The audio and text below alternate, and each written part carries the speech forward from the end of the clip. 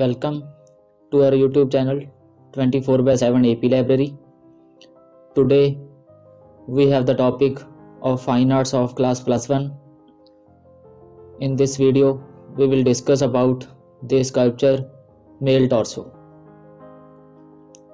The name of the sculpture is Male Torso, medium terracotta red limestone. Period is circa 2500 BC. Location Hadappa. Size 9.2 by 5.8 by 3 centimeters. Collection National Museum, New Delhi.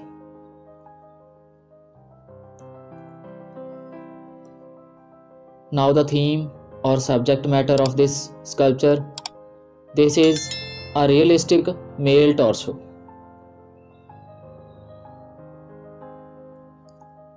Description of this sculpture Male torso is an impressive example of stone carving and handling of three dimensional volumes at Hadappa nearly 5000 years ago. तो ये 5000 years ago 5000 साल पहले की एक three dimensional sculpture है जो कि Harappa site पे मिली है it is surprising that the sculpture of thousands years ago at Hadappa could produce a figure as fine as a Greek artistry from 5th century BC. तो जो फिफ्थ सेंचुरी बीसी की जो ग्रीक आर्टिस्ट्री मिली है Greek artist की paint paintings और sculptures मिले हैं सेम उनके जैसी ये फिगर हड़प्पा साइट पे मिली है जो कि फाइव थाउज़ेंड ईयर्स पहले की है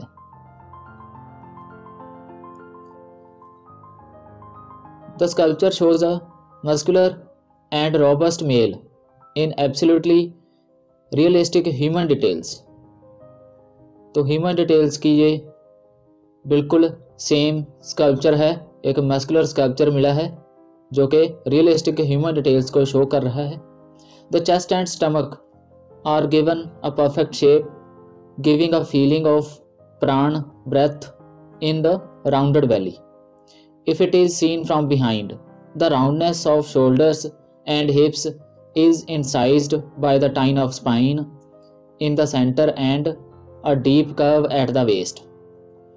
तो ये अगर बैक साइड से देखते हैं तो हिप से ये उभरी हुई और वेस्ट से थोड़ी डीप दिखाई गई है।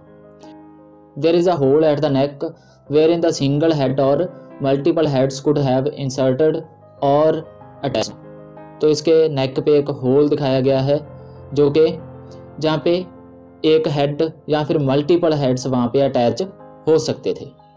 The drill circles at the shoulders are unexplained and its arms and legs are broken तो जो ड्रिल सर्कल्स हैं, जैसे कि आप यहाँ पे इस पिक्चर में देख रहे हो ड्रिल सर्कल्स वो अनएक्सप्लेन्ड हैं, वो क्यों बनाए गए हैं, उसके लिए कोई डिटेल नहीं दी गई। और जो इसके आर्म्स और लेग्स हैं, वो ब्रोकन हैं, वो यहाँ पे नहीं दिखाए गए, वो ब्रोकन फॉर्म में दिखाए गए हैं। जो कि हो सकता है कि इस कल्चर से अलग हो गए हों। This study of body shows the mastery of sculptor in using this medium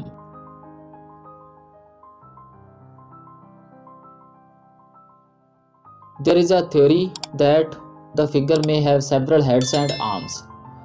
तो इससे एक ये भी अनुमान लगाया जाता है कि इसके सेवरल हेड्स और सेवरल आर्म्स हो सकती हैं, इसके साथ अटैच हो सकती हैं because the pose of the figure is identical to the pose of Shiva lord of dance created several thousands years later for worship as well as processions जो कि ये इसलिए कहा जाता है कि इसके साथ काफ़ी हेड्स और आर्म्स अटैच हो सकती हैं, क्योंकि इसकी जो, इसका जो स्ट्रक्चर है, वो same lord of dance Shiva के पोज के जैसा है, इसलिए ये ये अनुमान लगाया जाता है कि इसके साथ सेवरल हेड्स काफ़ी सारे हेड्स और आर्म्स अटैच होंगी। तो ये थी इस कल्चर के बारे में information